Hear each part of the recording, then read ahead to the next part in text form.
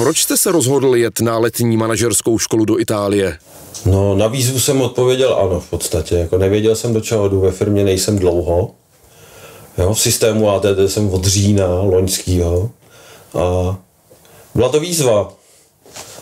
Jo, tak jsem, já nejsem zvyklý říkat ne. A teď jsem šťastný, že tady se. Jako to je asi všechno. Jaké jsou nejsilnější zážitky z této akce?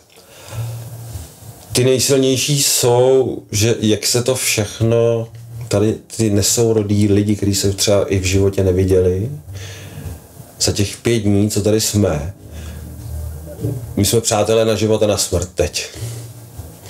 Jo, neskutečný. To je, to je naprosto neskutečný, co vám to udělá s hlavou. Tohle to. Za tak krátkou dobu. A, zmasírují vás tady takovým způsobem, že vy ze sebe dostanete úplně všechno, takže my se poznáme. Je tady, prostě se poznáme, stihneme to. Jo, v normálním životě to nejde, vidíte se 10 minut s někým, někdy 20, třikrát týdně, jednou týdně. Tady to máme intenzivní do půlnoci a nechceme jít spát. Musíme, ale nechceme jít spát, jako chceme být spolu dál. Je to prostě božský. Nabitej, i když unavený. Kdo by měl příště na tuto školu odjet s vámi a proč? No jsem jako kdokoliv, koho potkám v podstatě, protože to, tohle nesouvisí jenom s ATT, tohle, tohle je dobrý pro každýho.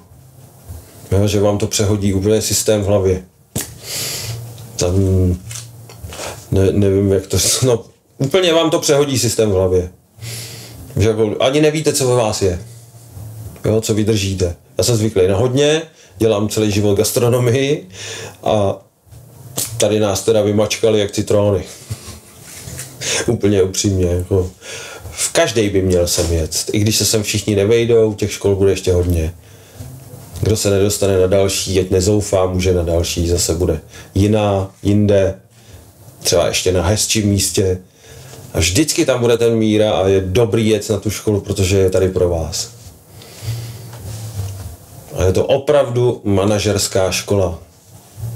Pro ten systém ATT vás to fakt vyškolí.